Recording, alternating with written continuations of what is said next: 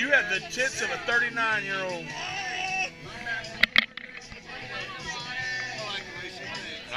You'll see him later.